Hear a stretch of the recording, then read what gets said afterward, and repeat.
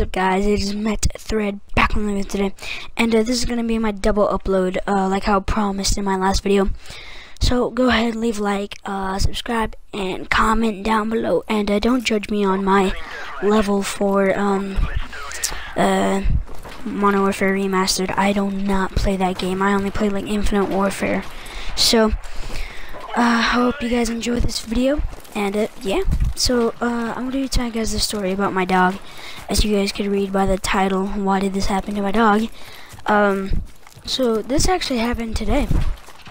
So I um, came home from school and I um, uh, we got a, a dog treat from um, no no we're gonna give her a name. Um, we're gonna call her Miss Bell, okay?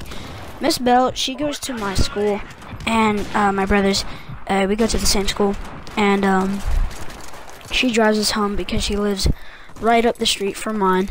So, uh, yeah, and um, so she gave us this big dog treat, and um, we're like, oh, we'll give this to uh, my dog, and um, uh, the name, his name is Sonic. The only reason why I named it is because, well, um, when I was five, I used to be a huge, you know, Sonic the Hedgehog fan, but no, I'm not. So, uh, once we got home, uh, I wanted to give it to him right now, and my brother was going to record it. But once he had it in his mouth, he could not get it from, uh, he could not get it away from his mouth. Like, I tried and tried. It just would not come out um, like uh, he kept on moving, trying to eat it, but um, uh, I'm like, oh my god, dude, I think he's stuck on it.